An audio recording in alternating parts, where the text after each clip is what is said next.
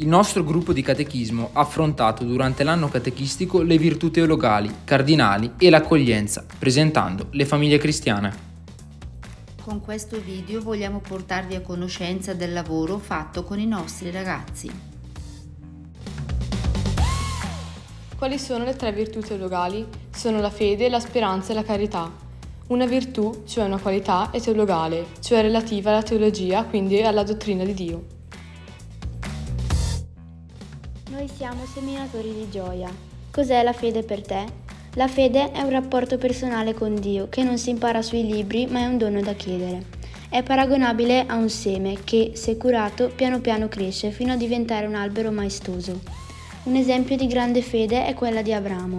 Lui si è fidato così tanto di Dio da lasciare il suo paese ed era disposto anche a sacrificare il figlio Isacco. Dio chiama Abramo e Sara genitori di un intero popolo. La testimonianza di Giulia Gabrieli fa riflettere sull'importanza della vita e di come tutti, grandi e piccini, possano fidarsi di Dio. È stata una giovane italiana proclamata serva di Dio dalla Chiesa Cattolica. Nasce il 3 marzo 1997 e, fino al 1 agosto 2009, vive la sua vita come una normale ragazzina della sua età. Quel giorno però, mentre con la sua famiglia si trovava in vacanza al mare, Giulia si accorse di una tumefazione sulla mano sinistra i genitori pensavano fosse una puntura di insetto. Dopo vari accertamenti, la diagnosi di Giulia risulta essere quella di un tumore, un sarcoma fra i più aggressivi. Affronta una chemioterapia e, apparentemente, risulta star bene. Dopo un po' di tempo, purtroppo, il sarcoma si ripresenta. Giulia aveva un talento particolare per la scrittura.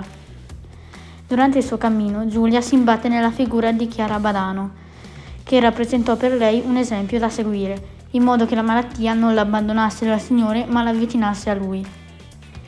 Recatasi a Padova per una radioterapia, entrò nella basilica di Sant'Antonio, dove, anche grazie all'incontro con una donna in preghiera, ritrovò quella gioia nell'affrontare il suo calvario che non l'avrebbe più abbandonata. Giulia morì a Bergamo la sera del 19 agosto 2011, mentre era in corso la Via Crucis dei giovani, durante la giornata mondiale della gioventù di Madrid. Oggi riposa nel cimitero monumentale di Bergamo. Il 7 aprile 2019, presso il santuario della Madonna dei Campi di Stezzano, Monsignor Beschi ha dato avvio alla fase diocesana del processo di beatificazione proclamando Giulia serva di Dio. La speranza. Dai a Dio le tue debolezze e Lui ti darà la sua forza. La speranza avvolge la vita come un'ondata di bene, di grazia e di felicità. Nei momenti difficili spesso ci dà la forza di andare avanti. La speranza cristiana è l'attesa di una cosa che è già stata compiuta e che certamente si, ri- si realizzerà per ciascuno di noi, la nostra risurrezione. La carità.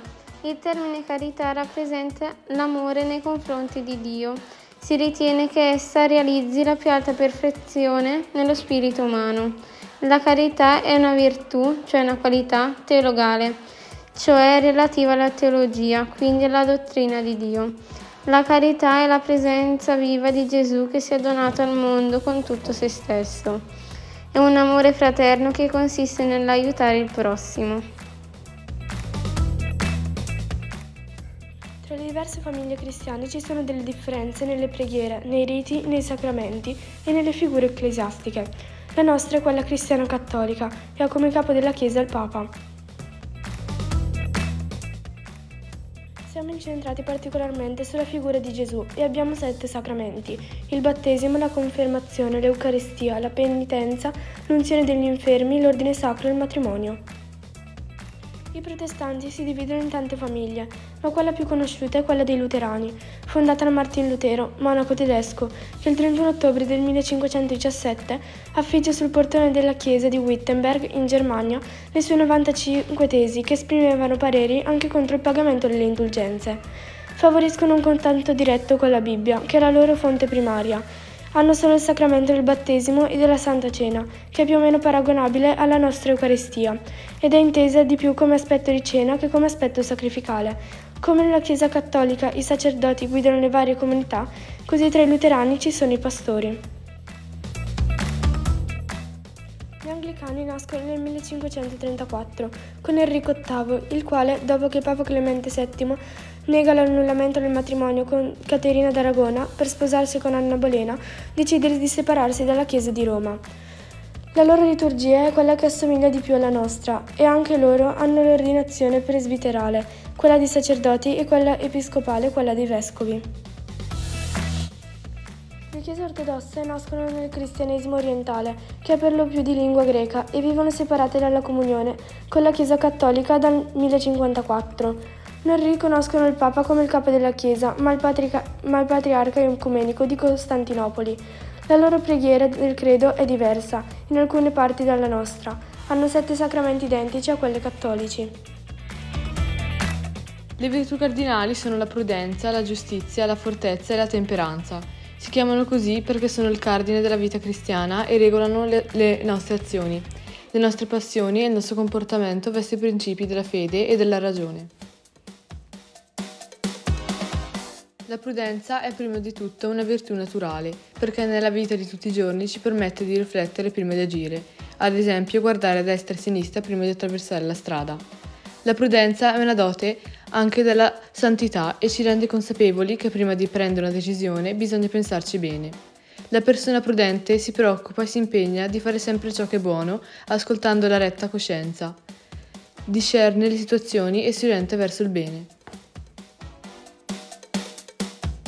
La giustizia è la virtù che regola e ordina i rapporti sociali ed è necessaria per costruire un mondo più giusto e fraterno. Nasce dal vivere i due comandamenti dell'amore, amare Dio sopra ogni cosa e il prossimo come se stessi. Essere giusti vuol dire incontrare Gesù nel fratello, come ha fatto Santa Madre Teresa di Calcutta. Dio ci insegna che essere giusti vuol dire essere misericordiosi, cioè aperti al perdono. Fortezza è la virtù che nelle difficoltà assicura la fermezza e la costanza nella ricerca del bene senza perdere la speranza e la gioia di credere in Gesù. Essa rafforza la decisione di resistere alle tentazioni, di superare gli ostacoli della vita e ci rende capaci di vincere la paura. La temperanza è quella virtù che ci aiuta a controllare i piaceri e grazie allo Spirito Santo far prevalere la ragione sull'istinto. Essa ci distingue dagli animali e ci fa vedere tutto con cuore e occhio puro, perché tutto è stato creato da Dio, quindi tutto è buono. La temperanza ci aiuta a vivere in armonia e in comunione con Dio e con tutto il creato.